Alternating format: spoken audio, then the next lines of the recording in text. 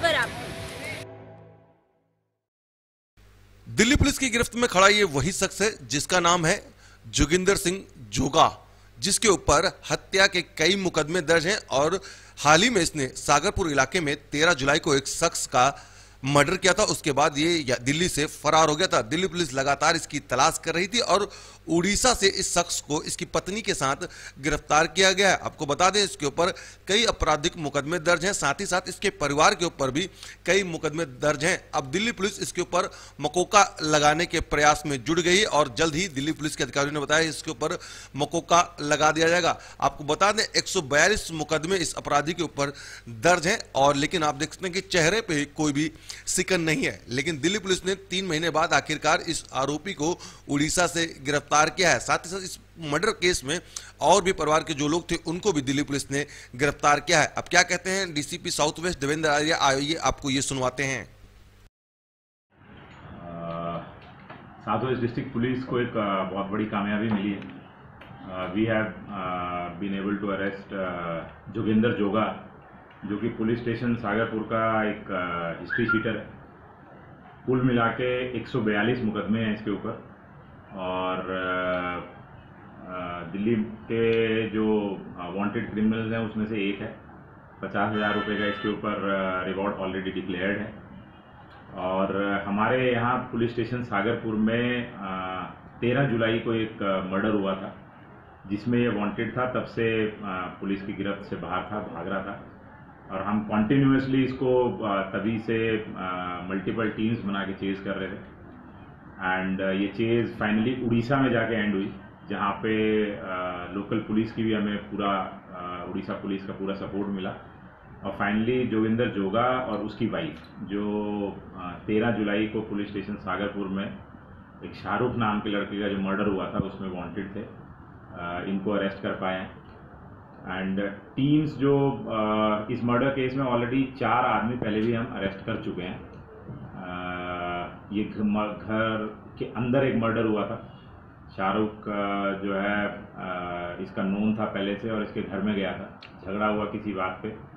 तो कैंची की मदद से इसने घर के अंदर ही उसको मारा था और एविडेंस uh, जब वॉश ऑफ़ करने की कोशिश करी तो कुछ आई विटनेसेस ने देखा कि ब्लड जो है इट इज़ ऊजिंग आउट घर के बाहर तक खून आ रहा है। तो विक्टिम की वाइफ और गली वालों ने पुलिस को तुरंत अलर्ट किया था। पुलिस टीम जब तक पहुँची घर पे, तब तक फैमिली जोगा की और उसकी फैमिली जिसमें इसकी मदर भी मैं फ्लैग करना चाहूँगा कि हिस्ट्री शीटर है पुलिस स्टेशन सागरपुर की। इसकी जो सिस्टर इन लॉ है, वो भी हिस्ट्री शीटर है पुलिस स्टेशन सागरपुर की।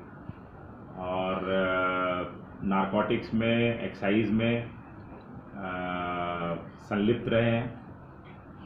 और इसका ड्रेडनेस इस बात से बाहर आता है कि पुलिस स्टेशन सागरपुर की टीम ने इसको एनडीपीएस में बंद किया था, जिससे ये 12 जुलाई को ही बाहर आया था जेल से। और तेरह को इसने ये मर्डर किया अपने घर के अंदर ही। और तब से हम इसकी चेज में थे। हमारी टीम्स ने राजस्थान में रेड्स करी अलग अलग जगह पे, जहाँ पे इस मर्डर से मुतालिक दो लोगों को हमने अरेस्ट किया। उसके सब्सिक्वेंटली कॉन्टीन्यूसली इंटेलिजेंस बेसिस पे एज वेल एज जो टेक्निकल सर्वेलेंस हमने माउंट कर रखी थी। Teams went as far as Tamil Nadu Tamil Nadu में भी हमने रेड्स करी। और एक रीसेंट जो जिसमें सक्सेसफुली है वो इनपुट अभी रिसेंटली मिला जब इसने अपने एक रिलेटिव को कांटेक्ट किया। सो so, हम कॉन्टीन्यूसली इनके रिलेटिव्स पे सर्वेलेंस रखे हुए थे कि उनकी सी को बार बार एनालाइज कर रहे थे। उनके सोशल मीडिया प्लेटफॉर्म्स को व्हाट्सएप ग्रुप्स को हम कॉन्टीन्यूसली मॉनिटर कर रहे थे। तो हमने ऑब्ज़र्व किया कि दो नए नंबर जो हैं वो इसके एक नेफ्यू के उसमें रिसेंटली टच हुआ तो उन दो नंबर को जब हमने फर्दर सर्वेलेंस में लिया तो ये दो नंबर रिसेंटली एक्टिवेटेड नंबर्स थे उड़ीसा से। उन नंबर्स को रडार में लेते हुए टीम्स जो है multiple teams were dispatch to Orissa. और नक्सल प्रभावित जो डिस्ट्रिक्ट है कोरापूत उसमें ये फाइनली ऑपरेशन हुआ। जब हमने वेंडर से इंफॉर्मेशन निकाली तो हमें पता चला कि ये जो फ़ोटो जो दी गई थी लकीली वो जो गलती कर गया, उसने अपनी ही फ़ोटो दी। तो वी कुड नेल डाउन कि हाँ ये यही है। कंफर्मेशन हो गया तो teams were camp there teams ने वहीं कैंप किया। एक इन्फॉर्मेशन और मिली, जिससे बड़ी मदद मिली कि उस वेंडर ने हमें बताया कि ये एस गाड़ी में आया था एस यू जो नया मॉडल है तो उस गाड़ी को हमने टेल करना शुरू किया। मदद मिली सीसीटीवी फुटेज से भी, जिसमें गाड़ी का नंबर मिला हमें। तो we could zero down that vehicle to a repair shop हमने वहाँ पे फिर अपना ट्रैप लगाया। एंड फाइनली जोगिंदर जोगा उस गाड़ी को करेक्ट करने जब आया तो हमने उसको ओवर पावर किया और अरेस्ट किया, जिसमें हमारे को उड़ीसा पुलिस की पूरी मदद मिली। और उसी की फर्दर उस पर इसकी वाइफ को भी अरेस्ट किया गया।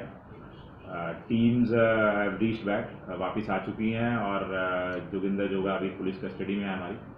एंड वी आर एक्सप्लोरिंग कि आगे और क्या स्ट्रिंजेंट एक्शन इसके अगेंस्ट लिया जा सकता मतलब जुलाई से लेकर अब तक आपका ऑपरेशन चल रहा था इसको पकड़ने के लिए।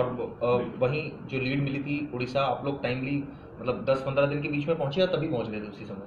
Uh, ये उड़ीसा की lead is recent lead of about seven to eight days duration ये सात आठ दिन में ही ये पूरा ऑपरेशन कल्मिनेट कर पाए हैं हम उड़ीसा में। इससे पहले we had told him to Rajasthan as well as to Tamil Nadu. Wife का भी रोल रहता था सर ये मैंने जैसे बताया था मैंने स्पेसिफिकली इस चीज़ को मेंशन किया कि पूरी फैमिली क्रिमिनल एंटीसीडेंट्स की रही है।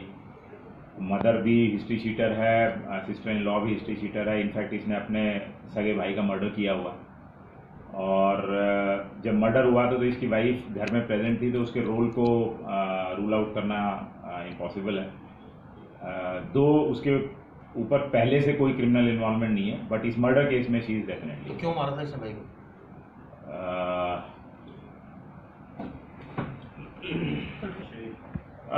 ये चीज़ हम फाइंड आउट कर रहे हैं कि uh, इसको लोकल सपोर्ट कैसे मिली इन एरियाज़ में। क्योंकि राजस्थान में लोकल सपोर्ट जो है वो एक कॉन्टिन्यूम में समझ में आती है कि दिल्ली क्षेत्र से राजस्थान में चले गए आप बट तमिलनाडु में और उड़ीसा में लोकल सपोर्ट को गैदर कर पाना वो इन्वेस्टिगेशन का पार्ट है वी विल एग्जामिन दैट तो मकोका की तैयारी हो रही है इसके ऊपर? भी कई सारे केसेस हैं अभी तक पुलिस ने इसके ऊपर मकोका ऐसा लगता है कि ये एक फिट केस रहेगा।